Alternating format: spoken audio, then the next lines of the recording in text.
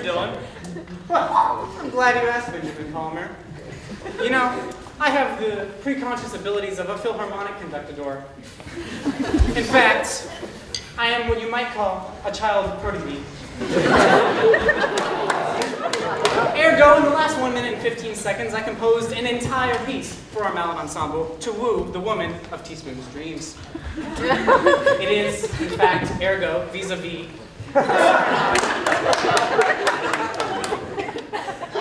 I don't know what's going on with your words, but that was really kind of you. Thanks.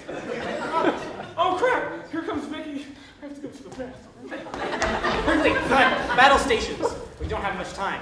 Now, I know we all worked long and hard on this piece, and... hey, But you said long and hard. okay,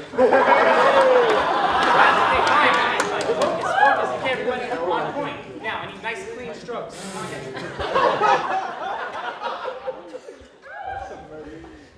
Strokes? Strokes isn't even a funny word.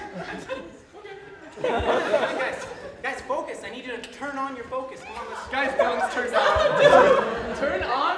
This is impossible. Let's just, let's just play.